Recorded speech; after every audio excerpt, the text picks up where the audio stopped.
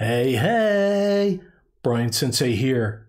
Do you ever use the snipping tool in Windows to create screenshots and save them as images? Did you know that you can now screen record with the snipping tool? Screen recordings are great for when you want to create a presentation video or an explainer video of how to do something on your computer. Let me show you how. All right, so first thing we want to do is open up the snipping tool.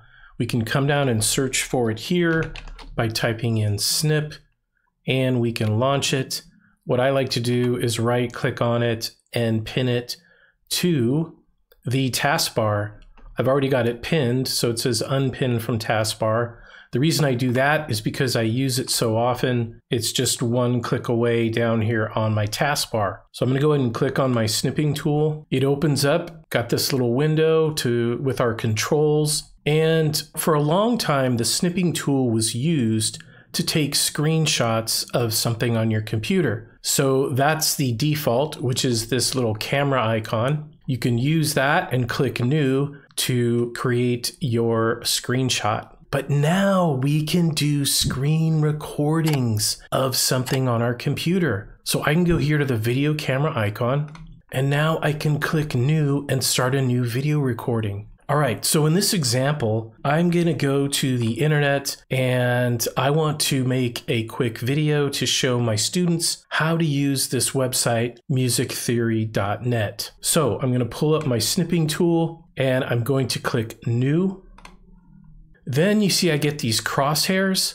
and you can see my screen has kind of dimmed and grayed out. This allows me to now left click and hold and drag across the area that I want to capture. And this is nice because I may not want to capture my entire computer screen. So I can make that selection, let go, and now it's ready to record. I'll go up here to the start button and I will begin the recording. And keep in mind that this will also pick up my narration. So here is your little microphone to make sure that you have the correct microphone selected. You have that option there. This option here is whether or not you want to include the system audio of your computer. So for example, if you're playing back sound on the computer, you'll want to make sure that's turned on. All right, so let me make my quick video. I'll click start and I'll get a countdown.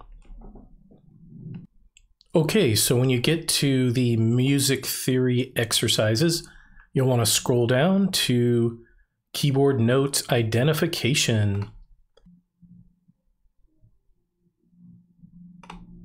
Okay, you can see when I'm finished there, I clicked the red record button to stop it. We're now seeing the video here load up in the snipping tool. If I want to play it back, I can go down here and click play. Okay, so when you get to the music theory exercises, you'll want to scroll down to and we can pause it after we've previewed. Now we can save it to our desktop up here at the right. We have our save button and we can go ahead and save this video. We can upload it to YouTube, for example, or share it in other ways. Also, I want to call out up here in the top right in the more menu, you can go to settings and here you have some options. So you'll see options on your screenshots, but down here for screen recording, you can include the microphone input by default. You can also include the system audio by default every time a screen recording starts. So those options are available to you when it comes to your screen recording.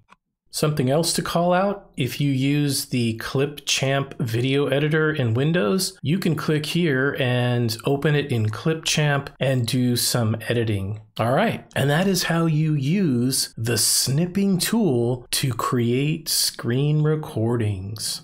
If you liked this video, please let me know in the comments below. Also, if you want to see more of these videos, consider subscribing to my channel and click the notification button so you can be notified every time I post new videos. If you have a specific tech tip you'd like me to create, please let me know by completing the form in the description below. And I'll see you on the next one.